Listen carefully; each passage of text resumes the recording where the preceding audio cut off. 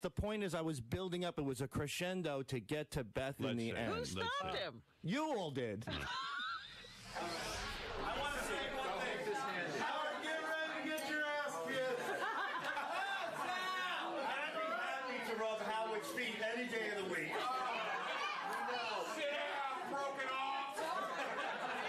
Howard, no, in, in all honesty, I want to say that when I was 16 years old, my sister called me. I was on the way to school. And she knew I loved dick and fart jokes, and she knew I was an idiot. And she says, "You have to listen to this guy. He's, he's in the middle of he's in the middle of a guy named Fred, and he's going into something called lesbian validation." I immediately, I immediately changed the channel. Heard him in the middle of yelling at his staff, yelling at his boss, and, and after all that, people were cursing, flipping out. I was freaking and goes, "And when we come back, we're gonna have lesbian validate." And I said, "I don't know who this man is, but whoever he is, he revolutionized radio. He's got."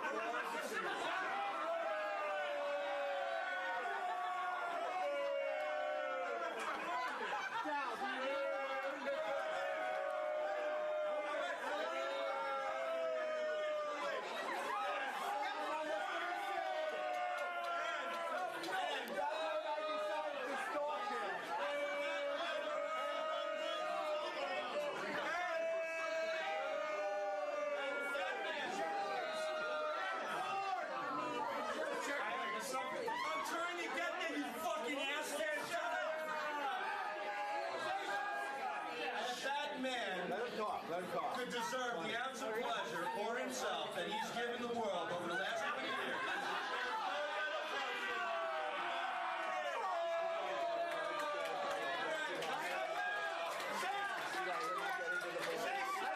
Say something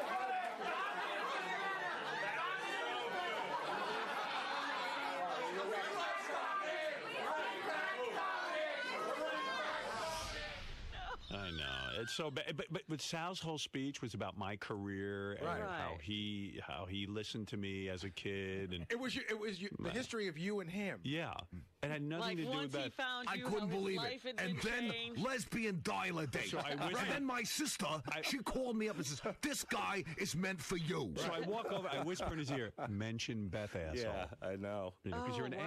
asshole. You had to even say it to him. Yeah, I should mention Beth. But I was trying to get there, but you guys No. kept interrupting my speech. I Oh, was wanna trying to get there. now? Sal, you're an embarrassment. I mean, really, stop kissing my ass every I'm minute. not, tr- dude. It was your engagement. I was trying to be nice. I was toasting you and your fiance. Yeah, no, you weren't. Yes, but I was. But these assholes that kept heckling left and right, I couldn't get to the big grand finale, the ending. You're sitting there talking about how in love you are with me, and it has nothing to. It has nothing to do with the fact that I'm engaged. Yeah, if you were wearing the ring, I would have understood the speech. You know, Well, what, what's the grand finale? Tell us, because in all fairness, Well, you the weren't- grand you finale weren't was. I There was said- no grand finale. Yes, there was. Uh, the point I was trying to make, I go, Howard, if you get one ounce of the pleasure from Beth that you've given the world, then you got the luckiest girl. and Then you're the luckiest person in the world. Then I You know. got the Oh, luckiest wow. luckiest girl. girl. in You- the world. even your Freudian slips Oh, my are so revealing. She's the luckiest girl. In the world. She is. But your part about Beth is all Still about, about Howard. him. No, but look, the point I'm trying to make is that this guy's broke his ass for 20 years, and it, it took him 20 years to break his ass to entertain the world. Yet, uh-huh. All he needs in his life to get that back is Beth Ostrowski. All right, get out of here. You don't see how I that's don't all get it. about You're him. insane. You're insane. No, Howard. you're insane, and that fat slob over there is insane because you guys are just putting a spin on all this. No, no, no. I am trying to say that Sal, Beth listen to me. Ostrowski is a beautiful woman that has given you the pleasure that you've given millions of people. Yeah, but it, it's not. I'm putting her in the mix. It's not I'm about putting her in the mix. But no, she shouldn't be in the mix. She should be out in the forefront. She's my gift for, she- for, for entertaining you and millions of people. Right. Yeah, you're not getting it. You don't it's, see it's that, a Howard. shitty Howard, speech. it's like you're a king and she's your Yeah, presentation. yeah, right, right, right. Here is here is the, the woman who should make you happy because you've helped me and Yeah, millions. they should Here's your in on gift. this. you get Thank you. Now you're getting it. no, That's but, but did you get it? What about her? It's an Her, insult to her. she's been Maybe giv- she's a terrific girl, and I'm the lucky one getting her. Right. Here's But- your gift for You making me and all my shithead friends don't know from how Long to Island listen to me. happy. You don't know how to make a fucking speech. I know how to make a speech. You always- is? you always She's not screw just up. a present for Howard. Well, what's wrong with being a presence rather than being a pile of oh, shit? I mean, oh, she is a gifted person. Listen to me. It's a she's a gifted person that she has the ability to give you the pleasure that you deserve that you've given the world. Oh, how about there I don't get how that's insulting. Sal, there are I don't get Listen, it. You guys are crazy. You're I retarded. No think matter the what pleasure I she gives say- Howard and that pleasure he's Oh, giving my you Here all I the way am. different Here I- pleasures. Oh, Your screw thought you, Paul. process is I'm so saying muddled. something nice about you and your beautiful you- listen to fiance, me. and you I turn just wanna around tell and you you're, you're a horrible speech giver. You know? Your your thought process is so muddled. I can't even begin to tell you. That poor wife of yours. I'm oh. telling you. No You're wonder. on her side now. I am. Hey, by the way, Howard. You're muddled. I'm not muddled. Listen to me. You're are befuddled. Listen to me. I, let, let me give you some basic arithmetic. Two plus two. Howard entertains world. Howard finds somebody to entertain him. End of story. The end. Oh, Finito. God. And you Please think that's a isolate normal that. thought?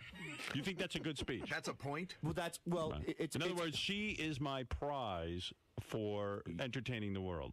sure. I but, see. But you Yeah. put the word prize in. I put her in as like, like A like- gift. You said A gift. A gift. She's yeah, a like gift. the Messiah. A like gift. Jesus came So down. it's not a prize; it's a gift. She's your bowling trophy. Yeah, it's like it's Right. sort of like, look, Howard, did she make you happy? Yes. So I'm happy for you that she makes you happy the way you What made about- me. what about I about can't her? even believe. Sal. You know what? I Are can't even. But I shouldn't even give you a fucking speech. to him. Why, I can't even believe so, I look up to you. you all you do is rip me to shreds. I'm trying to praise You you. treat me like I'm the king of the world, and now, sire, here is your presentation.